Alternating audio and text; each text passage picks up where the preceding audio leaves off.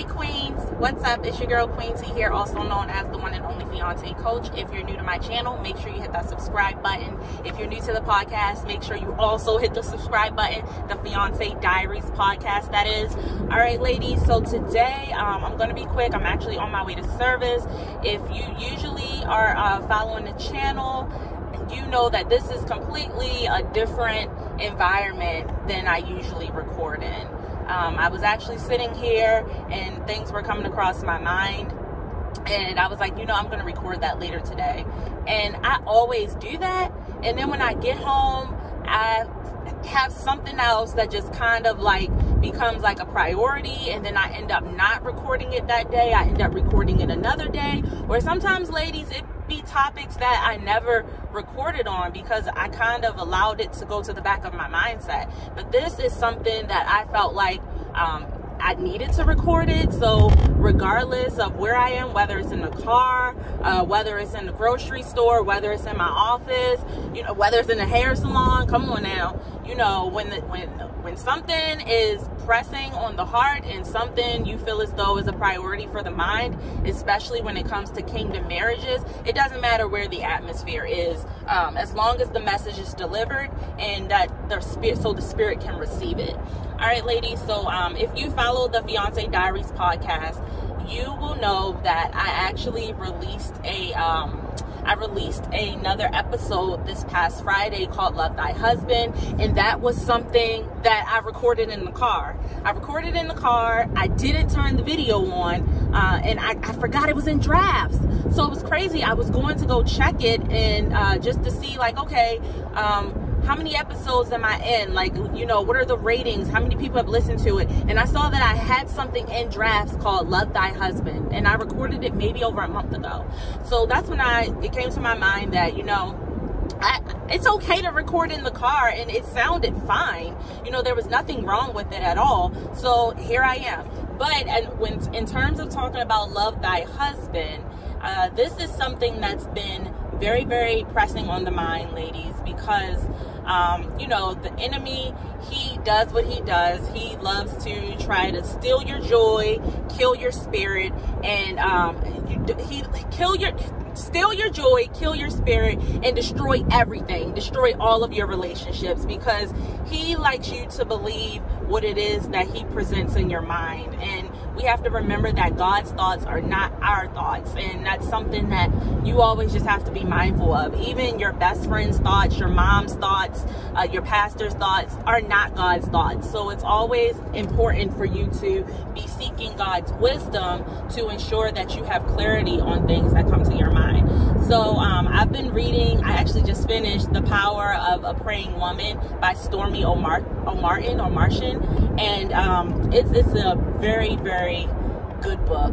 The, the Power of a Praying Wife, I believe it is.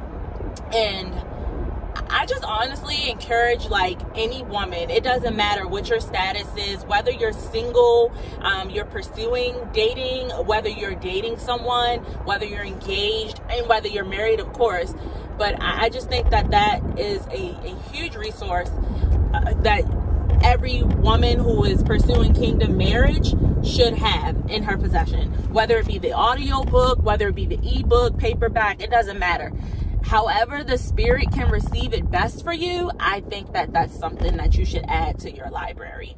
And um that book let me tell you it is filled with some powerful prayers. And it every chapter just it really breaks down like the different things that a man battles with. It's not necessarily a husband. A lot of the things that she talked about were things that men battle with before they're even married. But when they're in marriage, it becomes so much more, um, it becomes so much more stronger and effective at trying to damage a man's character. And because of what it's doing internally to that man, it has the uh, capability of affecting, of impacting and negatively affecting a marriage. And if something is destroying the husband, two are one, so you know that it's also affecting a wife. So my thing is, I was like, wow, like this is really, really important. Um, when I talked about love thy husband, when I recorded that, I wasn't reading this book. So it, I'm telling you, everything just comes full circle sometimes. And now that I just finished this book and it's like, wow, I found that draft. It was like, whoa, like this is like really right on time right now. Um, ladies, yes, make sure that you check out the podcast so you can listen to that Love Thy Husband. Maybe I'll figure out a way to upload it on YouTube. It just won't be a video. I, I don't know. Maybe I don't know. I, am not really good. I could probably put together like a slideshow or something to make it interesting. I, I just don't.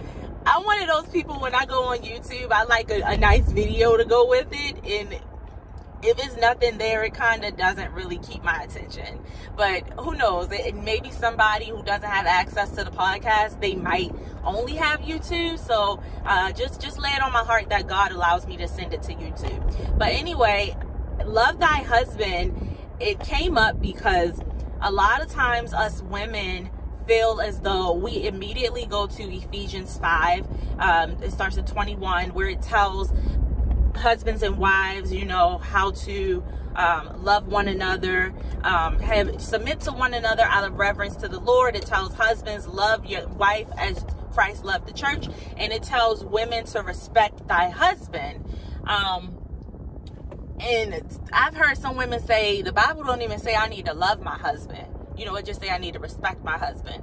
And some men will say, okay, love for them is respect. So, okay, respect looks differently for us than it does for men. Whoever you're dating or married to, you'll have to ask them how what is it that I that I can do to show you that I respect you? And I'm telling you, some of the things these men might say might shock you. You know, it's the little things us women do is like, oh, I do this because I love him.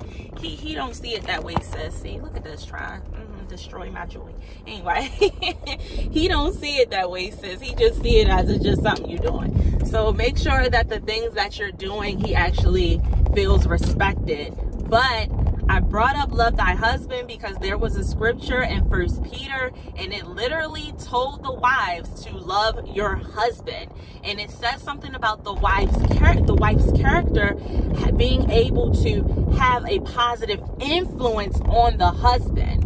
And I, I really think I put in that positive word, but it was basically saying like being kind so that you can win your husband over. Um, if your husband is, you know, it, it goes down to a lot of things. Like maybe your husband's like battling with depression. Maybe your husband's like battling with his self image or his masculinity. And a lot of this stuff can stir up from childhood, believe it or not. A lot of us have trauma from our past and I think as women, we're much more vulnerable and able to talk about the things that affect us, but men, not so much.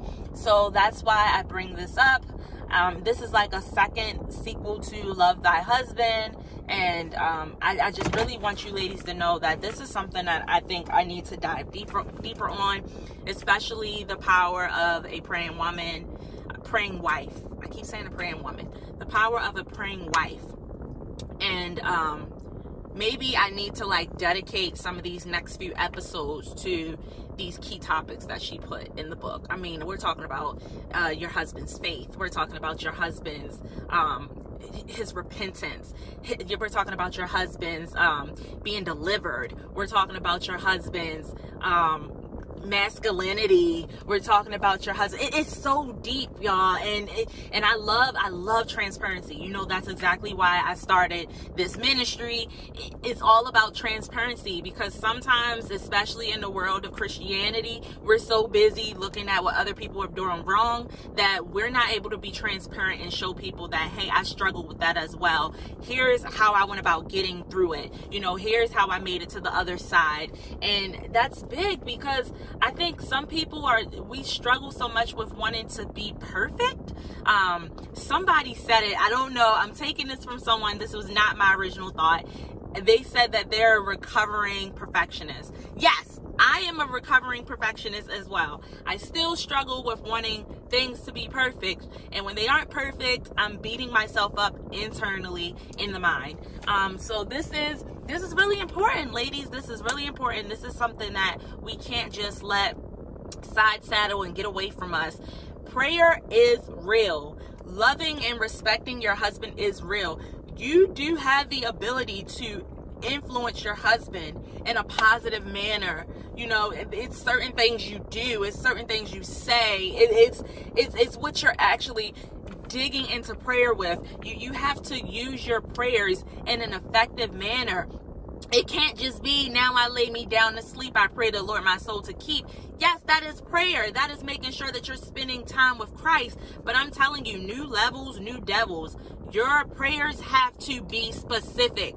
Your prayers have to be specific. You have to be a woman who is who is the prayer warrior of her household. Your husband is the pastor of your household, but you can be the prayer warrior of your household because I'm telling you, the enemy who he wants to attack is your husband, not just your marriage. He wants to attack the men specifically because he knows that in the lineage there's God, there's there's man, and then there's woman. And I'm not saying it as like the men are over top of us and things like that because God says that we are equal. But when it comes to a marriage, yes, God is going to speak to your husband, and he also will speak to you when your husband has a hard heart. So you have to know that prayer for you is the best way that you can soften your husband's heart, that you can fight the battles of his mind, that he, when he doesn't even realize that he's under attack, you are the person who is qualified to do that. You do not want your husband going and you know uh, talking to other women so that they can start praying for no no no you pray for your own husband okay?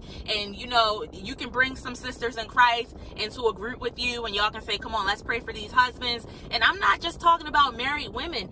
I'm i'm bringing this up because i think that this is something that needs to be done before you're even married you need to prepare you need to prepare. So let's prepare together. Um, this was quick. I literally just parked at church and I'm maybe like five, 10 minutes late. So I'm to walk into service. Just wanted to tell y'all happy Sunday. Let y'all know that we are walking into a new season. And this season is specifically about preparation for prayer in your marriage, preparation for prayer for your husband. And we are walking into kingdom marriages, and we cannot walk into kingdom marriages if we aren't equipped with the weapons that God has provided us with. All right, ladies, I love y'all. Stay encouraged, be blessed. Make sure you share this episode with a best friend, an auntie, or somebody who may be going through a struggle in a marriage. You know, maybe they don't know the Lord, but it's never too late for them to know the Lord. All right, so I love you, ladies. Stay encouraged, and um, it's your girl, Queen T, the fiance coach, connecting you to your true wife goals. Let's roll. Peace.